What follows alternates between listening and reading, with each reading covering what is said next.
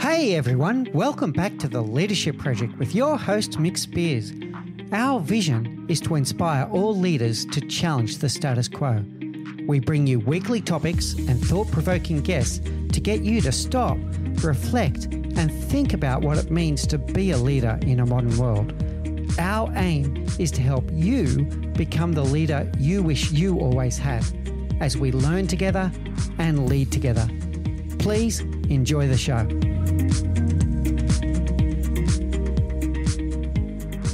Hey everyone, and welcome back to the Leadership Project. We're greatly honoured to be joined by today by Emil Dobrovolschi and Octavian Pantis. Emil is a pilot, he's a pilot instructor, and a pilot examiner. Octavian is an entrepreneur who is the co founder of an organization called Qualians. It's a training and consultancy organization, and he's a keynote speaker and a best selling author. I'm really excited to uh, bring you today's interview and the story of how Emil and Octavian met that ended up forming a deep, deep friendship and becoming best selling authors together as they authored the book Dark Cockpit.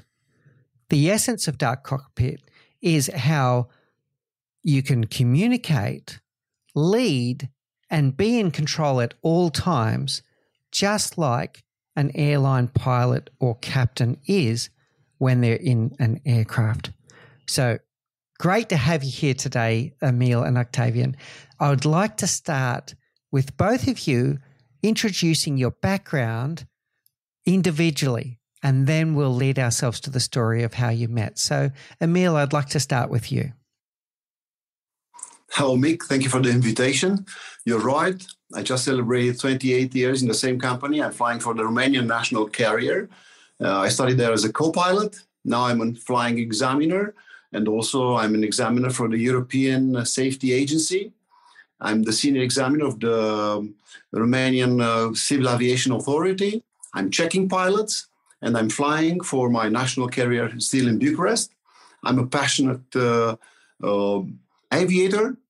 I'm a passionate reader, and I'm passionate about uh, motorcycling. So, in short, that's me. Outstanding, Emil. And uh, thank you so much for being here today. I'm looking forward to hearing your guidance about how pilots communicate and how we as leaders can actually put that into practice in our lives. And Octavian, please uh, introduce your background. Sure. Hello, Mick. Hello, everybody who's uh, listening or watching the discussion. I have, I could say, I have three hats. One hat is uh, I'm an entrepreneur. Back in 1999, we started an international training and consulting company, working with large multinational organizations in different countries, helping them build what we call the human side of leadership of business performance, which is leadership, uh, key business skills, uh, company culture. Just as a statistic that just uh, came out, last year in 2021, it turns out that we delivered workshops to people in 25 different countries across the world. So, uh, of course, the pandemic is bad, but uh, one good thing of it is this online um, uh, connection that really makes the world a small place and we can be together in the same uh, virtual room much more easier than than before. My second hat is um, i'm a trainer and keynote speaker myself. I speak mostly on leadership and work life balance and productivity, which is a very hot topic now with these changes going on in the way people work, great resignation, the working from home, the gig economy, and all these things, which are uh, making uh, big changes in and and to some people creating high levels of stress in in the way we work and there are ways in which we can um, fully utilize the opportunities that exist and my third head is I'm an author. I started writing audiobooks. Uh, my first audiobook was in 2008 on time management, then a few other ones on change, on leadership, and on communication skill. And I wrote a, a book on um, work life balance in 2012, which became a bestseller. And uh, I met Emil in 2008. Uh, and uh, uh, the result of that, one of the results is the Dark Cockpit book. And I'm, I'll be glad to go into more details in that. Outstanding. Thank you, Octavian. That's very impressive, the reach that you're achieving there with your organization And of course, the topics that you're uh, covering are very much aligned to what we talk about here at the Leadership Project.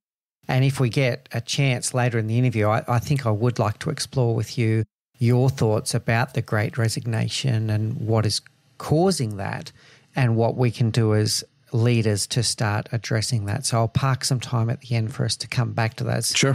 Very interesting for us. So we teased the audience before that the two of you had a chance meeting. Who would like to take the lead and tell us just how that happened? Please, Octavian. yeah, I'll tell it from the passenger's uh, perspective. So one of our colleagues, I knew that one of our colleagues has a friend who's a was a captain at Tarom, and that that's it. And then one way, one uh, summer of 2008, uh, my family and I were flying on vacation with Tarom. And what was surprising was that um, uh, after we boarded and after we took off, the captain addressed the passengers. Now, I'm sure Mick and everybody who's listened, who's listening to us, we've been in a situation where the captain says something or tries to say something, and you understand nothing. Like it's like they're holding the nose and saying, "Oh, there's a petrol," and then. Yeah. But on that particular flight, we could understand 100% of what he was saying. He had a clear hello, welcome on board. And then he uh, told us what we were going to see on the right hand side, on the left hand side on our trip to uh, Greece, it was back then.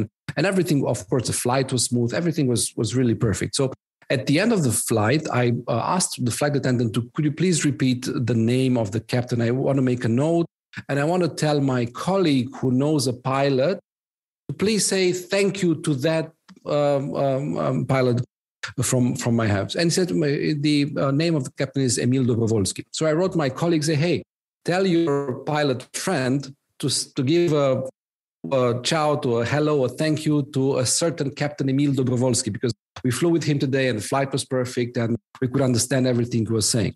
And my colleague replied, Hey, my friend's name is Captain Emil Dobrovolschi. So not only I will tell him, but I'll make sure that the two of you meet. So we met a couple of weeks afterwards. And then uh, we invited Emil to, um, to visit with our team and to share with us um, how's the aviation, how are things being done there, how does he lead the team. And it was the, the stories he was sharing were fascinating for us. Uh, number one. And number two, they were also useful, meaning we could take something from what he was sharing. This is how we do this in aviation, how we communicate or how we delegate, how we do things. And we were able to apply those things in our team and said, oh, there's, there's something here. Now, we regularly offer uh, speakers to our customers when they organize events. So we said, Emil, would you like to, if we have an invitation, would you like to address? And he said, sure, why, why not? And we started with one company, with a second company, third company. And what was very interesting is that whatever the industry, whether it was pharma, whether it was banking, whether it was something else, uh, the feedback was very good. Same two things. Number one, fascinating. It's interesting because all of us who are flying, we're curious about how things work. And whenever we board a plane, uh, if it's a single aisle and we board, and before we make a right to our seat, if the cockpit door is open, right, we hang around with and look around for two more seconds in the cockpit, and we're fascinated. So it's interesting. And number two, the feedback was, "Oh, this is very useful. This will help me." in how we manage things, in how we communicate, in how we lead, in how we do backups to backups. So after a few speeches, I said, Emil, uh, the stories are great. The principles from aviation are wonderful. You should write a book. Uh, and luckily for me, he said, Octavian, you did write a book before and that became a bestseller. Why don't we write this book together? So that this was in um, summer of 2018 or autumn of 2018. By the next spring, uh, the book was done. Uh, we wrote it together. Each chapter is written by uh, both of us. Each chapter has insights from aviation, whether it's principles, whether it's here's a little bit of history or each or stories from aviation. And then each chapter has links to the lives of a new leader, for instance. How can you motivate your team? How can you um, get everyone aligned so that you achieve the results that you want to achieve? Uh, how do you communicate things like that? And uh, the book came out uh, towards the end of 2019 in Romania, in Romanian. It was a big hit. Um, uh, thousands of copies got sold within a few weeks or months. And then the pandemic hit. So they kind of slowed down a little bit, but the feedback was very good. And people kept telling us, you have to take this message internationally because the world of aviation is a global one. and the, the needs of leaders today uh, are, are bigger than ever which is what we did. So in the summer of 2021, uh, we launched the book in English. We had it done nicely with a very good translation. Work with an American publishing company. Everything looks is great about the book, and we're glad that we're receiving great feedback from around the world um, about the book. And by the way, um, very different kinds of people are buying the book. Of course, uh, leaders are buying it so that they can improve but the companies also buy it as gift for their employees. They buy it as gift for their customers. People buy it for their kids. If they have a teenage kid or older here's a book that will guide you through your high school or university years so that you can make good decisions. We have young um, professionals buying the book for their parents. We have a, a very narrow narrow target group but an important target group is um, there are some people who are af- afraid of flying. And we have feedback that people after having read the book uh, their fear of flying decreased a little bit because they what what they realized in the book is uh, so many nets, so many safety nets are there. Uh, everything is done not by the ear, not keeping fingers crossed, by their checks and checks, and everything is checked two times, three times, five times, and there's a system for everything. And people say, "Huh, okay, so it's it's not just ah, we fly." No, it's it's make sure people make sure that it's done well. So we're glad that people are flying more because of uh, also uh, finding insights from the book. So this is kind of uh, in a nutshell. That's really interesting. Uh, yes, please. Allow, uh, please, Emil, go ahead. Short and how we wrote the book. It's actually the, the book is uh, based on my story, what happened to me along my career flying or teaching or uh, checking people, the pilots, professional pilots in the simulator, in the full flight simulators. And based on that, the, the good eye of Octavian, who's seeing a story and he can pull out more strings out of it and more uh, thoughts about it, more lessons. Let me tell you a, a short example. He told me once, he said, You know, you realize that every time you go to fly, when you do the briefing with your crew, maybe there are five people there, or maybe there are 14 people there you have a new crew every day. So you have to present yourself in front of them as a leader. So you have you have a, the capacity of showing yourself not as a captain or as a boss but as a leader in front of a different crew every day. So this is the kind of interaction we had when we wrote the book. So my stories yeah they are fascinating. I have lots of lessons to share because the professionals in every domain they have the same challenges. They have to to to deal with the same outcome, uh, miscommunication, uh, poor leadership. So they have to know better how to do. Every every one of us, even now in our personal lives, we have to deal with some uh, crisis from time to time. So who's better to uh, for crisis management than the professional pilot? So I have these stories, but Octavian has a good eye of seeing new uh, facets, new angles of to uh, to attack a problem and to pull out new ideas, new lessons. You know. Thank you, Emil. And uh, I can see how this uh, is a beautiful marriage, if you like, of a chance meeting leading to a deep friendship and then the writing of this book together in a way that is a translation. It's a translation from one world into another world of what lessons we can take away from that. And this very much resonates with us at the Leadership Project. Just to share something with the two of you, this is what we look like for. We look for people that come from different walks of life, different domains to gather that diversity of thought, to see what we can learn from these different domains and disciplines and apply them in applied leadership. So, one of my favorite interviews, and I shouldn't have favorites, but I do. One of my favorite interviews has been episode 14 with Don Campbell. And Don is a sculptor. He's a 71 year old sculptor from the artistic world. And we interviewed him with the view about creativity. What can we learn from the artistic world that we can bring into our teams to unlock creativity. And what evolved was this wonderful conversation about deep listening and about listening with an open mind, with an open heart, and with an open will to really reconsider a new world. So we love this kind of concept of taking something from one world and seeing how we can translate it into another world.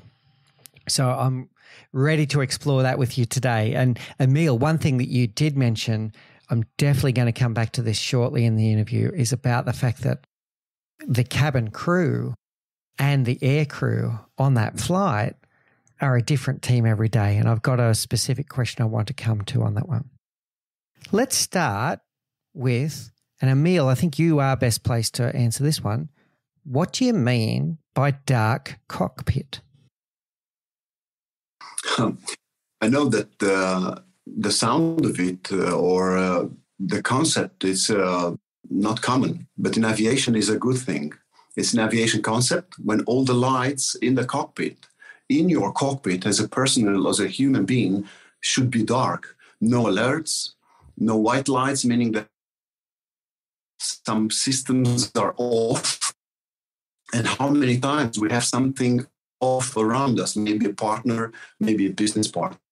You know that it's enough because you just look overhead panel on your controls. On a dark cockpit, you see immediately the white light meaning. Or if you have a caution, it's an amber light and it's uh, something like a tooth pain or something which bothers you. You can continue doing your thing, but you know it's there. Maybe your um, competency is not at the level you should be because you have these alerts all the time. So you don't have to, as a pilot, I don't have to address a, a caution light, but I, I, know it's there. You can postpone it for uh, later when you have more time. Uh, in the book, we we suggest that you address the problem as they appear. Otherwise, they can gather there, and you have lots of lights on your overhead panel. And of course, your performance is low. Um, your life becomes more complicated your professional life, your personal life is more complicated when you have a Christmas cockpit, which is the opposite of dark cockpit. And one more thing, when you have a dark cockpit, it's not given to you by someone. That means that you're operating well, that you are doing the things that are supposed to, you're following the procedures, you're not exceeding any limits. So you're, fi- like you're flying or you are performing well. It's a lot of work, not lots of knowledge, lots of discipline to have a dark cockpit. So I'm inviting our writers and your, our listeners to think about their cockpit, to think if they are in dark cockpit or not, and if they are not, what they were doing well when they were in dark cockpit, and to, to imagine their life or their controls, their cockpit, to be in, um, to manage it in such a way that obtain dark cockpit every time they, they are in pursuit of uh, I don't know to do something, a project. Um, maybe it's a personal project, maybe it's something uh, in your professional life. But imagine what you were doing well when you were in dark. Yeah, really interesting, uh, Emil. And I want to unpack that a little bit further and then share a reflection about that and come to you, Octavian, uh, for your views about the extrapolation. So, first of all, coming back to what Octavian said a, a, while back, I do the same thing. When I board a plane, I always have a little glance to the left and see if I can see the cockpit and everything. I think a lot of people do this. So, so when you do that, it's quite often that you'll get on board and you'll have a look to the left, and the the pilots will be going through pre-flight checks, etc., etc. And the cockpit can look like a Christmas tree at that point with lights on everywhere, etc., etc., which is a completely normal thing at that point. What Emil is then saying is that when you're in steady flight and everything's going well, you want all of those lights essentially off. No warning lights, no alarms, etc., etc. And what I heard is two things. The first thing I heard is that's not by any kind of accident. That's through disciplined control and, and approaches to maintain that dark cockpit state. And the second thing I heard that was very powerful there, Emil, is that when you do start having any kind of illumination, whether it's a advisory through to a warning, through to something more serious, that you need to address them and address them one at a time as they come up. Otherwise, there's going to be a compounding effect. And before you know it, you're in complete overload in terms of sensory and everything that's going on around you. So, Octavian, um, um, hopefully my interpretation's good. How do you translate that into the business world, that lesson, when you're with your clients? Yeah. So, um, in a way, you could say dark cockpit is the opposite of being overwhelmed with tasks and with stimuli of all kind. Uh, this can happen on a physical level to all of us, uh, but even worse is when this happen when this happen on happens on a mental level. So, uh, in a cockpit, yeah, there are lots of indicators or button, but they're not lit. When there are when there is light to them, then you need to do something. But otherwise, it's not there. What would be the equivalent of that in a physical copy? Your desk, your computer, for instance. Many people, when they work, they have a number of windows open. They've got the emails, bing, bing, bing, bing, bing. They have the phone next to the, which is messages coming there. Maybe they have some notes. Maybe they left a paper on the desk as a reminder that they have to do something about a third issue uh, and which is uh, probably aggravates things if they're working from home. Maybe they are in the kitchen. There's some soup cooking or the child is doing something. Now obviously that is too much. And in aviation everything is optimized they don't want to overwhelm the crew they don't want to over because then, then that's not good for anybody so they take away things now in our home in our home office work office wherever that is it is us who need to clean things up around us. Don't open too many uh, windows, switch off your mobile, or at least turn it on silent, put it in a different room if you want to really focus on something for one hour or 30 minutes. Keep your desk tidy and things like that. This is on a physical level. On a mental level, there are things in our mind. I need to have a delicate discussion with that person. I need to do this. I need to do that.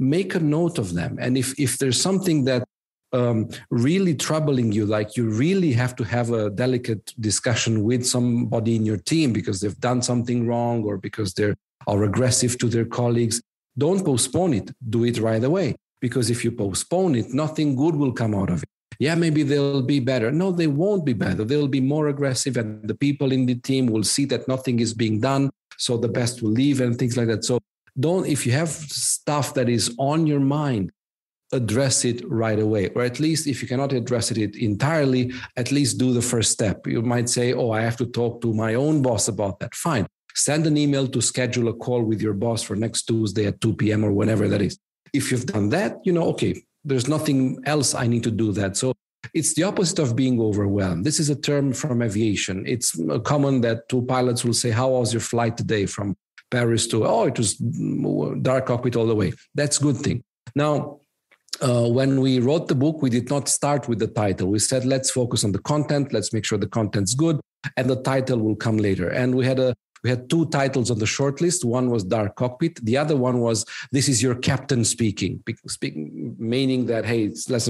Um, we like Dark Cockpit best, and we also did not want to uh, sound as come across as arrogant. Now you shut up now because it's your captain speaking. So we like Dark Cockpit, and it has a good uh, it has a good sense to it, and the uh, what can leaders do? If you know you need to get something to sum to sum it all up, do something about it. Don't don't postpone it. Don't say it's Friday. I'll deal with it on Monday because we know it will be on your mind the entire weekend. Then you won't be able to enjoy whatever you want to do in the weekend, reading, family, kids, whatever, because you know you have this delicate stuff to do on. So the and as a general rule, don't overwhelm your work environment, your phone with apps, notifications like that, because that's that's not good. These are small things, but small one small thing, thing here and there can lead to a busy day. And sometimes people look at their watches, oh my God, it's 3 p.m. already. Where did the day fly? Well, it flew because of it it it, it got lost actually in all kind of details. And if you think about it, there, there were two major things I wanted to get done today, and none of them is done by 3 p.m. And that's not good. Yeah. So if I may add one, yeah, please, Emil. Yeah. Mick um, uh, the way we wrote the book, we we understand that there's a huge know-how in aviation. We can borrow to other domains, but we never in the book we were thinking of giving lessons to someone or to look down on someone. Look, if you don't do it, if you don't do like this, you're doomed. If you don't do like this, you're not a good leader. If you don't do like this, you cannot communicate well. No, what we did is that we picked some of our some of mine experience in flying or some of the lessons from aviation because they're not all happened to me uh, fortunately you'll see the greatest uh, uh, accident in modern aviation. But we took the lessons out of there and we showed to our readers how the things were done then and how the things are done now. So what we learned from that unfortunate event or what we learn from that incident, what we learn from miscommunication. And this is the way the book is written. We don't look down on nobody. So we don't pretend to be someone, a professor. We look uh, down on our students and to to to discipline them. Yeah. No, uh, please, please let me, let me, let me, go for. Uh, it's it's a leader's job to bring clarity to the team right? So you could say dark cockpit and aviation is about managing complexity. It's a leader's role. It's it's acceptable if there's a new employee uh, just uh, got employed here two weeks ago. There's a mess in his head because he doesn't know. That's fine. That's okay. But if there's chaos in the leader's mind, that's not good for anybody. So um, it's about managing complexity, simplifying what you can, and organizing the rest. Mm. It's a powerful message, uh, both of you. And uh, rest assured, I've read the book twice now, and it doesn't come across as being preaching or looking down on anyone. It, it comes across exactly as this. Here, here are some thoughts from the aviation industry and how you might apply them in your industry or your domain. So don't be concerned about that. And for people at home, I strongly encourage you to get a copy. It's a very good read and it really makes sense when you start applying some of these concepts. The two powerful takeaways, to summarize them here, that concept, if, if you haven't tried this before, the concepts of time blocking and really focusing your, your time without distractions and immersing yourself into tasks and into activities, the productivity that comes from that, the clarity that comes from that is amazing you're probably not surprised to hear that a part of my job is actually social media. I'll, I'll give that as an example. But I don't sit there with social media on all day. If you if I pulled up my schedule and showed it to you now, I have an hour every day that's dedicated to responding to people's comments, to making my own comments on other people's posts, etc. So I schedule one hour a day on social media, and then for the other 23 hours a day, notifications are off there, separated. I would never write my book, for example. I would never have finished it if I allowed myself to get uh, distracted like that. Then the other part about if there is something going on in your team or in your workplace, ignoring it, if it's a problem, it only snowballs. It only gets worse if you do not address it. And, and part of what Emil and Octavian are sharing with us, it's also going to play on your mind until you have addressed it. So it's, it's in your own interest to declutter your mind by just nipping it in the bud and making sure that you do address it. So, Emil, I think this is a good question for you. The next topic I'd like to discuss is in the book, you use the term communicate unequivocally. What does that mean to you? I know that in every domain, when something goes something goes wrong, everybody will blame first the communication. We didn't communicate well. We didn't pass the message well. The message was not was not received. And but in aviation, for us, it's the paramount informa- uh, import- importance. Why? Because we are just two people in a cockpit, in a dark cockpit, facing forward, not seeing each other to validate a message. We had we have headsets on our ears. You can hear the crisscross of communication, and there are lots of noise in those helmets. You know, so we are not seeing each other. We cannot uh, validate the message with body language.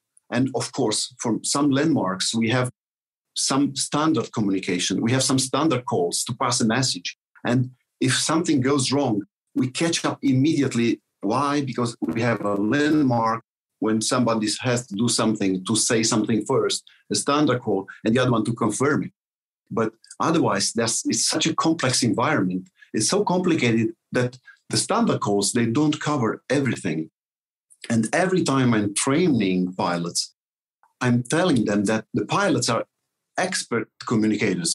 They they learn, they exercise, they practice the communication in such a way that the message goes through at the right time and at the right moment to to solve a problem because the the the communicates the word is just the beginning of an action If you just stay there silent, and you see something and you say nothing, nothing will happen.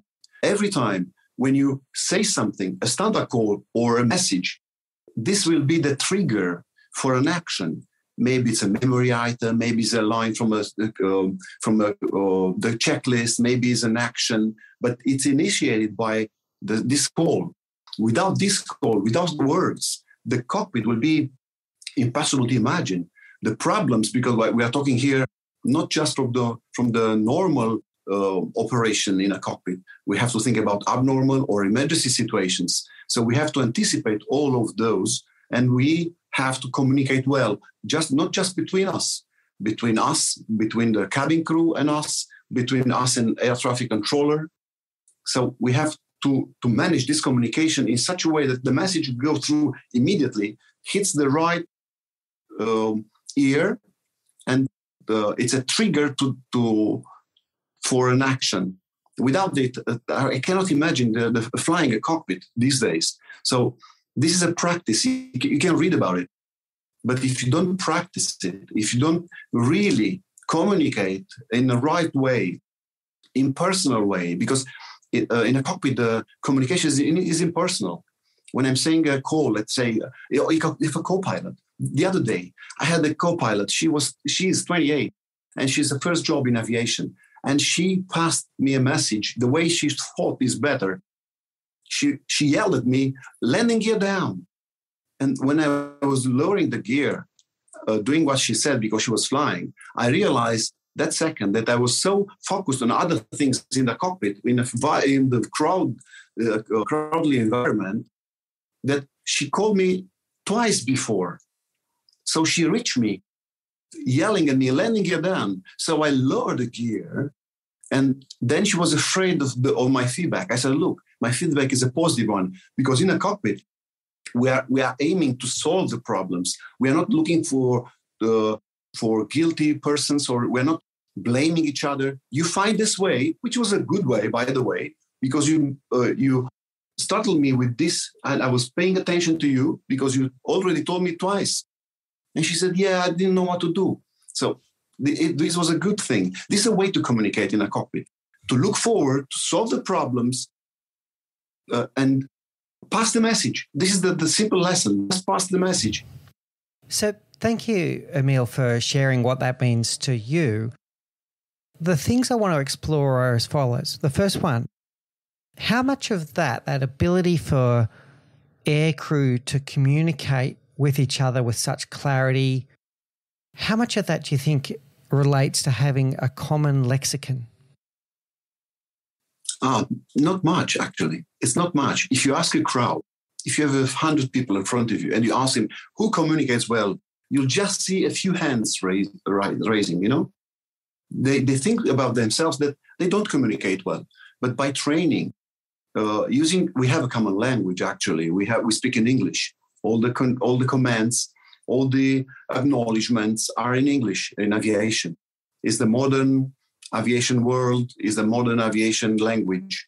So we have a common language, but we come from different countries with different backgrounds, different educations, and sometimes things that somebody said they're not the same. you if you are from I don't know from South, uh, uh, if you are from Africa, if you say something maybe uh, you think that I'll be offended and you have to trim your words. But in aviation, we don't do that. We speak frankly, directly. Why? It's simple. Communication is not, it's impersonal. It's not about you and me. It's about uh, solving the problem. It's about going through a process of doing another procedure. It's as simple as that. So, as quick as people realize that, that when I'm saying to a young co- uh, cap- the captain or to young first officer uh, speed. I'm not saying, "You come on, you're stupid. You're not keeping the speed you said you're keeping." No, I'm just, I'm, I'm. It's a trigger for him or her to adjust the speed. You know what I mean? If somebody tell me tells me glide slope, that means that I'm I'm not keeping the glide slope for landing. I'm above the glide half a point. I'm below the glide half a point. So this is a feedback I will simply thank for because at the end, my project, my flight is better when I'm accepting feedback. Why? Again, the communication is impersonal. It's not about me or him or her. It's just about the cockpit, the uh, procedures, and the step of the flight. Yeah, thanks, Emil. That's a that's a good explanation. And the second part I wanted to explore, and then we'll come to Octavian for the translation into the business world. I picked up in the book that a big part of it was confirmation of understanding. So when in that scenario that you're talking about before about the landing gear, that when the person is communicating, there's also an acknowledgement that the communication were received and a confirmation that the communication was understood. Uh, is that also something that you think happens in the cockpit? Yeah, why? It's, it's so uh, it's we have a word. It's not. I know it's not uh, comfortable when I. So every time, if you look at the uh, TV show or you read about it, it's always starting with a bad communication. And that ev- uh, evolved to a new communication concept. When, when somebody says something, the other has to, com- to comply and repeat. When the air traffic controllers instruct me to turn right 20 degrees, I don't just say yes or I will. Meaning what? How many degrees? Left or right? So the controller will not will be confused. Yes, what? He understands to, start, to turn right 20 degrees. He will comply now, when, when the pilot will just answer turning right 20 degrees. And in some parts, when there are no digits, of course, you can just say will go, will comply. When there are digits, degrees, uh, speeds, uh, um, levels, numbers in general, you have to repeat the entire message. So I'm, I'm amused sometimes when people are new in aviation that they are just answering yes to your in the, in the cockpit because in the cockpit we are not talking to each other we communicate to each other when i say uh, this is an off i'm expecting to him to say or her to say check. Why? Because otherwise i'll be just alone there pressing buttons. You know? So every time every maneuver in the cockpit should be confirmed by the other pilot with a small with, with just a word check. Not just say check looking on the window the other side, but look at the right or the, the maneuver and then saying check. And you train that in the fly full fly simulator. I'm, not lowering and uh, the, the co-pilots unexperienced at the beginning of their careers, they would just say down three green, not checking. Why? Because they said down, landing gear down so many times. Now it's not down. So it's not just saying but checking first and then uh, confirm the, the maneuver. So it's a it's a like a loop. It's not longer than five maneuvers sometimes or three maneuvers nowadays because the, the aircraft are more evolved, there are more automation in place. So just three a loop of three things you have to look before checking or acknowledging. But Octavian, it's better on doing this because he translates this into business. So please, Octavian, yeah, so thank, thanks, Emil. Uh, so, so Octavian, uh, just to feed that to you for a moment, the business world is full of examples of where two parties walk away from a meeting, both thinking that they completely understood what just happened, and then you find out later that there wasn't a common understanding of the outcome of that meeting. Tell me how you translate what Emil is bringing to the table here with with your people that you help. Oh, sure, many many examples. So, uh, just linking to aviation, uh, Emil said that whenever there's a message, turn le- when the tower says turn right 30 degrees, the pilot automatically responds, uh, understood, turning right. If we were watching a movie and we would see the plane from outside and we would hear the tower saying turning right 30 degrees and we would hear nothing from the cockpit we would automatically assume oh my god something's wrong right? Because why? Because otherwise they would have repeated. So we are so accustomed to this happening in aviation. Still here's what happens in companies. There's a meeting and the boss presents something. And slides and whether it's virtual or in a meeting room speaks for 15, 20 minutes, the strategy, the casts a vision, whatever, and concludes with Okay, so this is the plan. Uh, any questions? No questions. Great. Have a great week ahead. Now that's a very poor way to uh, close a meeting, right? Because exactly like you said, you don't know who understood what. Now, ideally, the ideal fee, so there has to be a feedback. Ideally, the feedback is the repeat of the message. This happens in aviation because the stakes are so high, right? Uh, it's turn right 30 degrees. They don't say, yeah, sure. No, this repeats it. Because if I understood left 30 degrees, I might hit something or something. In business, you can't always repeat the entire message. What are we going to do now? Ask all the, all the 10 people in the room to say the whole presentation that they've heard for 20 minutes each? No. But what something you can do as a leader is fine, friends, uh, if there are no questions, let's just go around. I'm going to ask each of you to say just one thing that you'll do this week as a result of this presentation, for instance. And then when you hear they say where you hear them say things, that's good for many reasons. Number one, what they say shows me or not that they understood what I was presenting. Uh, number two, they say it, so they the message is even more clear. In they've heard it once, they've said it the second time, so it's clear.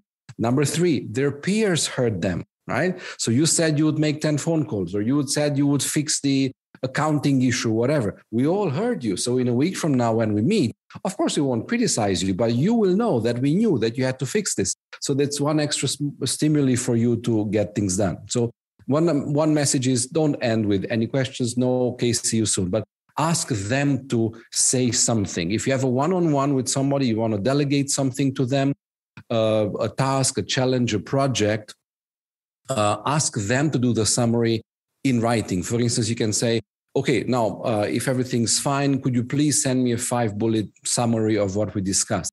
Don't you send the summary because you said the initial message by voice it's still from you in written it's double from you zero from the other person. You said it once you get their feedback if you ask them to okay could you please summarize it in an email to me? What are the things you're going to do? And again you have it in writing i have it from you it's a summary it's good.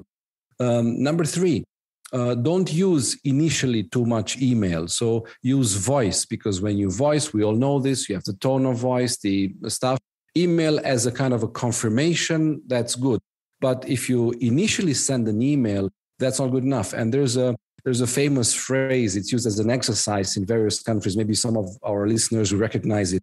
It's just one line of text, and depending on where you put the emphasis, it means different things. I said she didn't steal the money, right? I said she didn't steal the money. I said she didn't steal the money. I said she didn't steal, not that she, I said I said she didn't steal the money, but whatever. So the, the, the, the message changes a little bit, right? Depending on where you place the emphasis. Now, what does it mean? It means that if I send an email to my, and this is just one sentence, right? Just one line.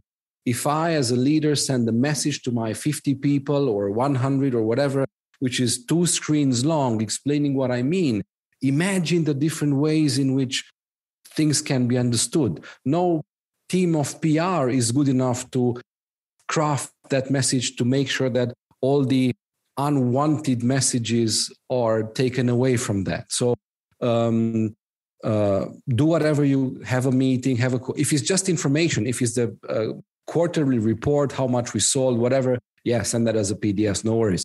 But if there's some change going on, if your company was hit and you need to pivot, or if you have a proactive change of strategy, don't do it on uh, on email because it's too dry. People will understand. So uh, one of the to sum it all up what is very bad for business uh, is the absence of communication. When something happens people have their own interpretations of it. Some of those interpretations might be good some might be bad uh, but many of them will be off what is the situation. For instance in many companies they just advertise a new job. We're recruiting for a new hr manager for instance if they if people just see the announcement what does it mean? What's wrong with our one? It's not good enough. She's not good enough. Want another one. Who, why not from the inside? Why from outside?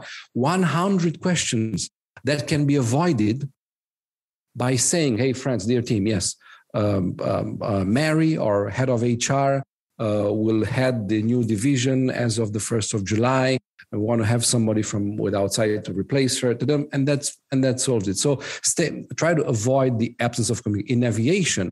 Whatever happens, there's a message, there's an exchange of messages about that right away. If they hear a noise in the cockpit that seems to be coming from the back, from the back of the plane, in the next 30 seconds, they're on the phone with the flight attendant from the back of the plane.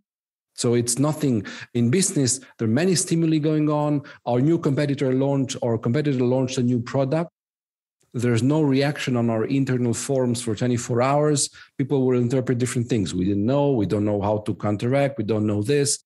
Uh, even if some people might know, maybe uh, three or four people already discussing, but the other 500 don't know nothing, and that leaves space for interpretation. Thanks, Octavian, and lots of things to take away there. So, making sure that your message has been heard, making sure that it's been understood, uh, making sure that the person is taking some ownership and accountability of the message, which is you know, getting them to summarize back.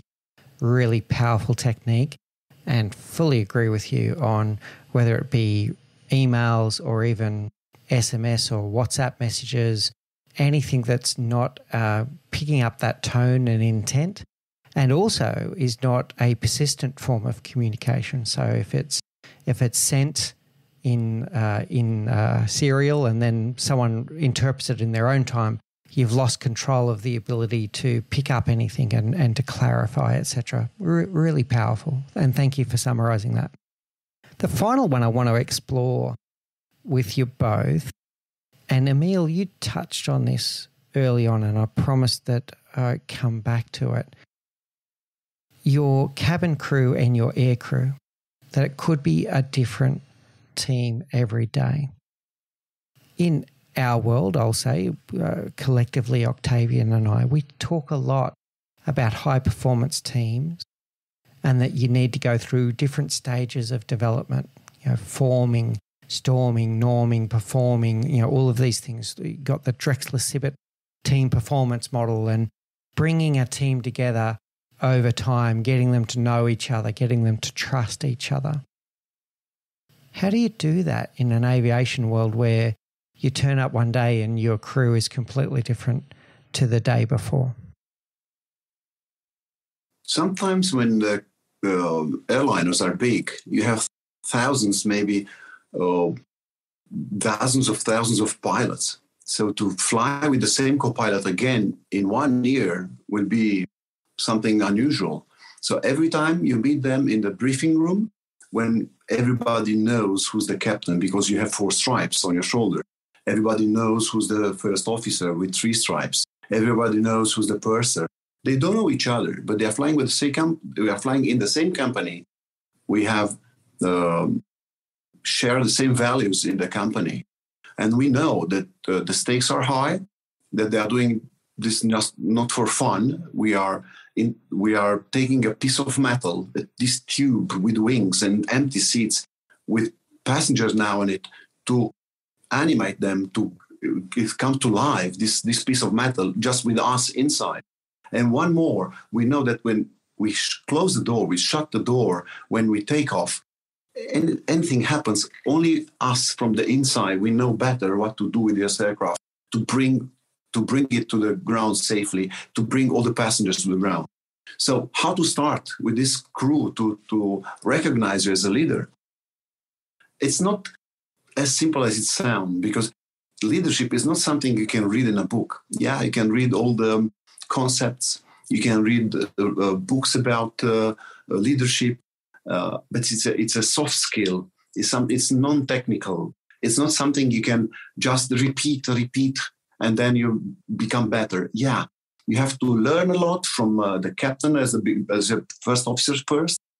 So you have you have to learn from the captain and to to, to take good things because well, all humans we are doing mistakes, but you should keep your head cool to realize what is good for you to take it as a as a knowledge as a plus for your future career. And then little by little by exercise you see them happening and sometimes sometimes in an aircraft uh, things goes wrong go wrong. You have an alert you have a caution you have some malfunctions you have to deal with it. And doing this and practicing in the full fly simulator twice per year, each professional pilot will somehow develop a, a stage of leadership. Of course, not all of us are leaders. Not all the people around us are leaders. Some they have some maybe some some personal feature that will make them a, a, good leaders. Some of them they are learning a lot, they read a lot, and by example, they took a lot from other leaders. But not all of them, not all the co-pilots will become captain one day. It's not a shame. Somebody will not take the responsibility of leading a team or taking an aircraft and the passengers' lives and the crew with you in your in your shoulders, on your shoulders.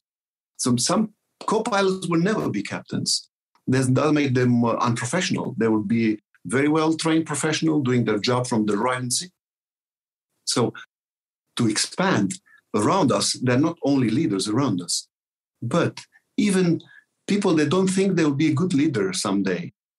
If they listen, if they learn by example, if they took the right example, if they have the right mentor, maybe they will become they will become better leader uh, they'll become leader in, in, real life. My recipe is that to present in front of my crew as a crew member first of course they know who i am. Of course they know i'm experienced. They, they maybe they flew with me before. Maybe in a thunderstorm where or in a uh, in a situation where I, I prove my my qualities as a leader but if I start as a crew member, if I talk to everybody in a friendly atmosphere, because I don't have to be their boss.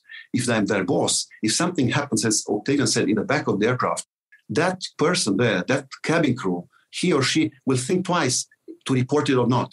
And maybe that piece of information is paramount for me because I have lots of other information in the cockpit. But with that information in plus, I will take a better decision.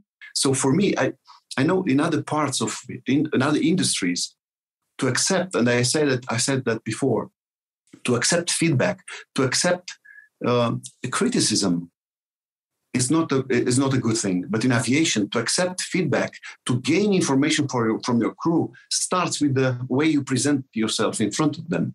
And as, as I said, if I present them, I, I have I have the authority. They know that I'm a captain doesn't mean that I have to to press them to show them how strong I am because this is stupid. They'll be they'll be respecting me as a boss.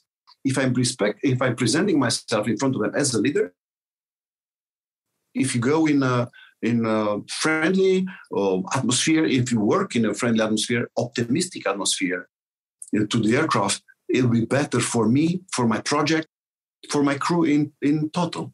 Hmm. Yeah, thank, thanks, Emil. And I think, yeah, that's some really important takeaways there. Leadership is not for everyone, and that's true in all walks of life.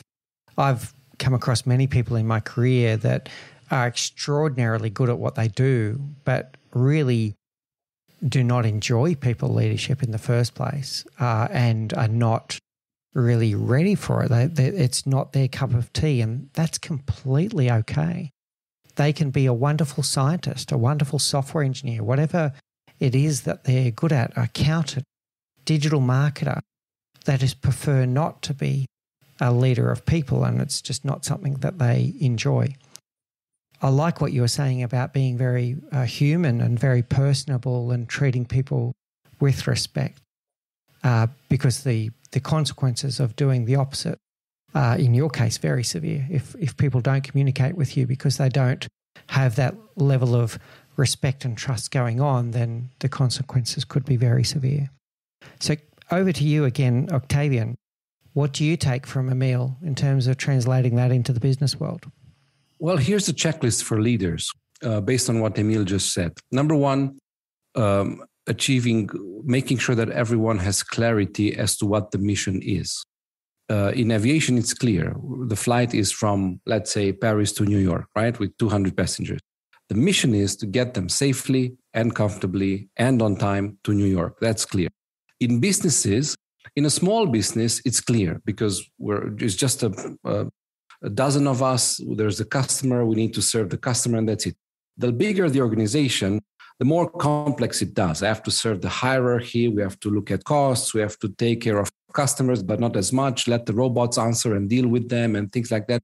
So there has to be clarity about what um, the mission is. Number one. Number two, what happens in aviation is that everyone is prepared. Uh, everyone, speaking of training, for instance, one thing that differentiates training in aviation from training in, com- in companies is, uh, or three things actually, is that in aviation, training is for everyone. I mean, Emil is a super captain examiner for 18 years. Still, twice a year, he has to report to the simulator, he has to practice, and somebody's checking him if he does that, and he has to take the exam. Nobody says, ah, nobody says, I are an examiner. Don't worry about the exams now. We know you're good, Emil. Go ahead and fly. No. So training is for everybody. Number one, num- uh, one, two. Training is on very wide range of topics, from extinguishing fire to communicating to dealing with aggressive passengers to uh, b- boring regulations about, including now with pandemic and masks and things like that. And number three, training is repeated. It's going on all the time. It's not just once, or oh, we trained you when you joined our company. We had the induction period. You were sent to three days of training in the first two weeks. That's it. Now go deliver. Uh, in companies, that doesn't happen. And that creates problem down the road.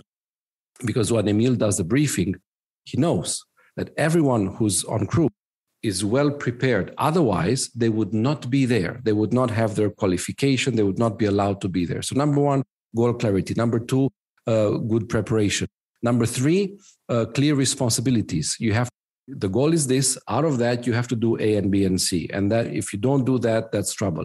Uh, number four is uh, responsibility for your job, but also for the overall mission. If you see something that, yeah, it's not, say something to someone else. For instance, in a company, what does it mean? It means you walk down the uh, lobby and one light bulb is off okay, should you now go get a staircase and fix the bulb? Maybe not, but report it right away to the people in charge of logistics uh, and uh, head office administration and things like that. If you know that um, one customer was unhappy about something, you're an engineer, you went to them to service something. Uh, my job was to fix their uh, printer, but they weren't happy about this. Say it to your account manager um, because that's that's what it means to be accountable for for the whole team. And uh, so any leader um, wants to have uh, a high level of performance, and not only today but on a sustainable terms, need to make sure that these things are done. There is goal clarity. People are prepared. They know what their role is, and they do that. They have a big picture. They are ready to help others. Um, that's not always easy to do, but in the end, that's the that's the goal for a leader. When when we were especially when a, when somebody was just a specialist, you had your own thing to worry about. You're an accountant, you're a sales guy. Your success was about how good you are. Now, success is about how well you put everyone together and achieve a team bigger mission. Yeah, thank you, Octavian, and, and well summarized in terms of the takeaways from that. The final topic I'd like to explore before we get to our rapid round, I promise to come back to this uh, as well, Octavian, you mentioned the great resignation early in our uh, interview today. I'd like a the very quick fire because it's a big topic. The very quick fire, short answer of why you think it's happening, and what we need to do about it as leaders. So, uh, if we zoom out a little bit, let me just say uh, what we all know is that these are huge changes in the workplace, the biggest changes in our generation, working from home, things like that. Now, people can look at it in two ways whenever there's a change. Oh my God, it's a danger. Uh, I don't know what I'm going to do. I don't, I can't work from home. I don't want to go to the office. Or they can look at it as an opportunity. Uh, what's good about that? Well, I can have my own schedule. In, in 2012, in my work life balance book, I talked about have a different schedule. Uh, work still work eight, work eight hours a day. That's 40 a week. Uh, but take Mondays off and work on Saturday. Take take breaks. Some people say, oh, "Okay, that's crazy." You can do that now, right? So you can think of it as an opportunity. Now, if our listeners um, are not good at what they do and they value comfort too much, they should not resign, right? Uh, but our leaders are, our, re, our listeners are not like that. If you're good at what you're doing, if you're good at what you're doing, you have an immense power as an employee now.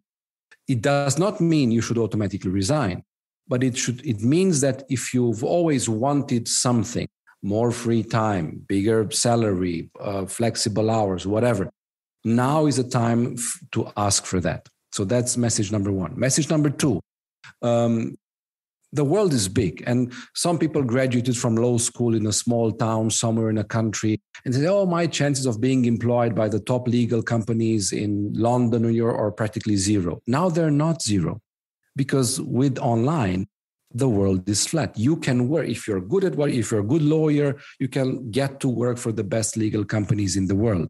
So treat your uh, horizon not as ah my city maybe 100 miles around it because i can't commute more than no. Treat your expertise as something that can be valuable to people worldwide. Some people who are resigning are resigning for good reasons meaning um, i can do better. Some other words are resigning because they uh, uh, they're just fed up uh, and they don't they they think the grass is greener somewhere else. Now grass is not automatically greener somewhere else. So whatever you want to decide think twice uh, but know that it's it is a time of opportunity. It is a time where you can have big changes and big gains in the way you work in the money you make in the people you work with in how much time you have for you and your hobbies. But you have to um, um, really analyze what's going on. But the good news is that opportunities are way bigger today than three years ago, let alone 15 years ago.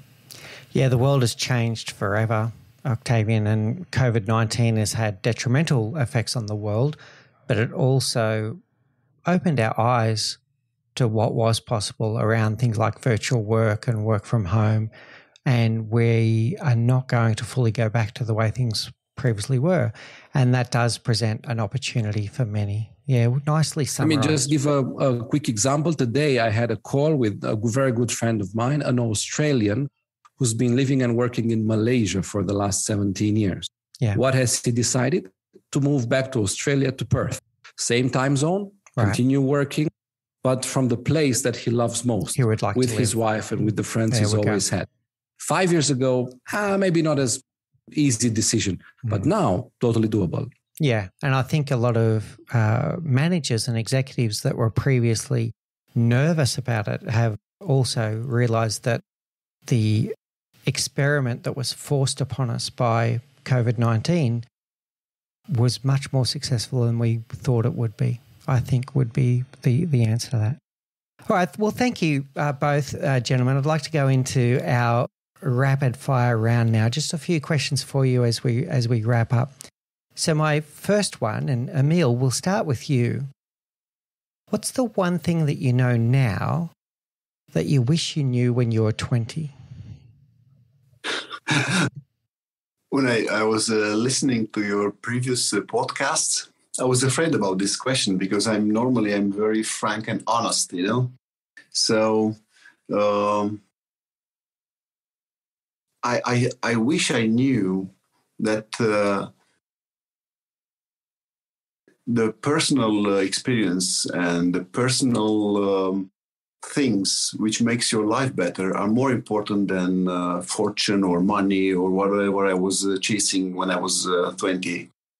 Because my life um, became much better when I was uh, focusing on what really matters to me, meaning love, family, children, friends.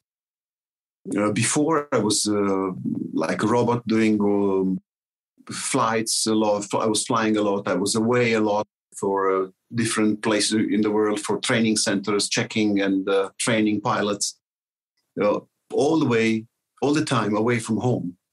So I wish I was. I knew that uh, it's better for my life, for my even for my career, because as um, as as soon as I took this workload out of my shoulders, uh, this way of thinking, uh, my life become uh, become became better. Mm. Thank you for sharing that, and that's something that I've come to realize over time as well. And I wish I knew it earlier for sure. How about you, Octavian? I would have um, developed my communication and presentation skills even more uh, early on because I think we can all agree that a lot is about how you relate to others, um, um, ask questions rather than talk all the time, make your point clearly.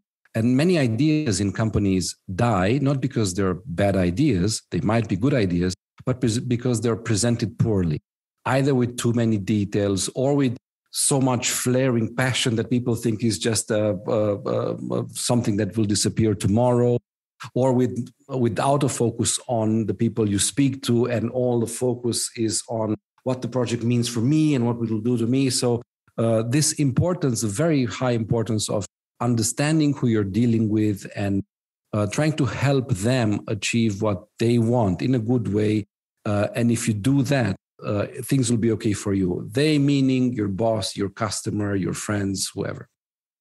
Yeah, leadership is 100% about how you relate to other human beings. I like what you're saying there about taking the time to understand them.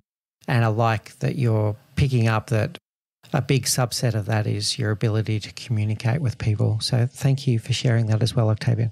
Uh, next one. Uh, what is your favorite quote? And let's start with you this time, Octavian you choose your life it's a, of course we live in a world there where many things going on outside of us on top of our head like the pandemic for instance and i happen to believe in god um, uh, that, uh, but still in any situation you are you have choices uh, and where you where we are now is to a very large extent the result of the choices that we made for instance let's say uh, I lost a match, whatever sport that may be. The guy beat me. Yeah, well, that's one way to look at it. But one other way to look at it is that I was not well prepared. I did not train enough. I did not study enough. So, of course, I could blame the other guy and hope that sometime I'll meet someone poorer than that guy. Or I can focus on what I can do, work on that, and increase my chances next time. So, we even had that on. So, we made some jackets for the team some years back you choose your life. Very nice, uh, nice uh, way of putting it as well. And for you, Emil, what's your favorite quote? Um, I don't think I have one now because, because I had so many in my life. I'm I'm, uh, I'm a passionate reader, and every time I read a book, I took some of the ideas there, and um, they, for the moment seem to to guide uh, my existence for a short period of time. But uh, I have a military background, and the one I kept for my as a quote for most of my life, not now, and let's say it's a it's a Latin one. It's Audaces Fortuna Juvat, meaning that the luck or the god of uh, luck, fortune, fortuna, uh, is uh, uh, helping the, the bold ones, the one they, they dare to become something or to do something more. Uh, meaning that if you're sitting, uh, you're not doing nothing, you're not thinking anything, we're just uh, comfy at your environment. Um, you cannot comply about being unfortunate. You know, you cannot comply about uh, uh, misfortune if you're not doing anything. If you don't dare go out of your um, of your, let's say, warmly cozy environment. That's a great message, Emil, and resonates very uh, deeply with me at the chapter of my life that I'm at. So thank you so much for sharing that. That meant something to me. And I'm sure it'll mean something to the audience as well. And finally, and Octavian, we'll, we'll get you to close us out here. Um, I'm sure that there's going to be people in our audience that are very interested in the messages from today, uh, whether it be getting a copy of Dark Cockpit or getting in contact with the two of you to know more. How do people find you? Well, uh, the easiest is um, if uh, find us if you want to find us, find us on LinkedIn. We have uh, uh names Dobrovolschi, and then this is the Emil is showing a copy of the Dark Cockpit. Go to the website darkcockpitbook.com. No dashes, no lines, no nothing. Darkcockpitbook.com. You can download a free chapter. It's the chapter titled A New Crew Every Day, by the way. It's a very interesting chapter. You don't need to do anything, you don't need to submit card details or whatever. Just download the chapter and enjoy it. Of course, books. The book is found is found on Amazon as Kindle or as um, uh, paper-based um, um, paperback. And uh, we look forward to hearing from as many of you as possible. Reach out to us. Of course, you can leave us a message on Dark Cockpit Book, but also feel free to connect with us on LinkedIn. We regularly post there articles, different things. So uh, we look forward to staying in touch. Fantastic. Thank you, Octavian. And I will quickly add to that before we close out that we will run a competition here at the Leadership Project. So listen up, everyone. If you took something out of today's uh, episode and you share it on social media, so LinkedIn or Facebook, and you tag the Leadership Project and go ahead and tag Emil and Octavian as well, and share with us what your greatest learning was from today's episode. One lucky winner will win a copy of uh, Dark Cockpit. So, gentlemen, thank you so much for your time today, uh, uh, dialing in uh, in your evening. I really appreciate uh, your time with us today. I know that the audience is going to really be thinking now about how they apply what you've shared with us today into their leadership style and into their workplaces. So, thank you so much for bringing such great value and being open with us today. Thank you, Mick, for the invitation. All the best to everyone. All right. Thank you and stay safe.